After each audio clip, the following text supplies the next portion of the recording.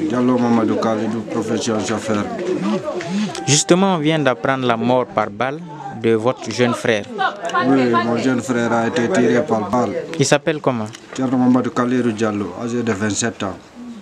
Vous nous apprenez qu'il était aux toilettes ici, où il faisait ses besoins, c'est là qu'il a reçu la balle. Qu'est-ce qui s'est réellement passé ici?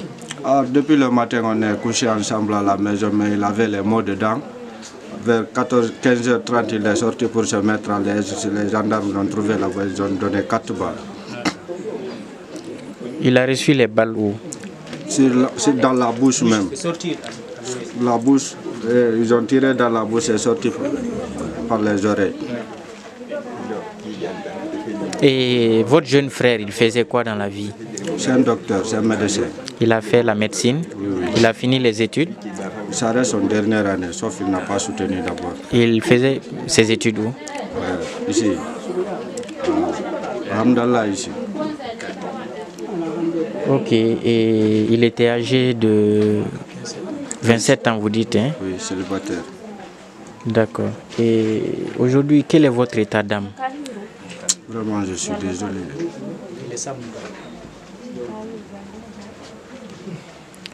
Et vous étiez son tuteur, qu'est-ce que vous retenez de lui? Vraiment, depuis tout le temps, là, les grèves, là, le petit là ne sort pas. Ne sort- il n'a jamais sorti pour lancer des cailloux bien grévés. Chaque fois, on est ensemble ici. Tous les mouvements, là, on est ensemble.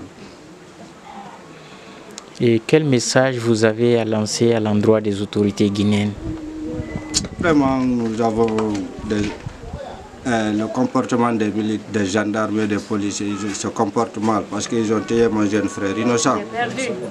Innocent.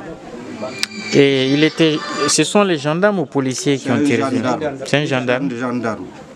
D'accord. Justement, on voit déjà du sang là, ce qui prouve effectivement qu'il Vous a avez été vu tué ici. Ici. Vous avez vu les balles. D'accord.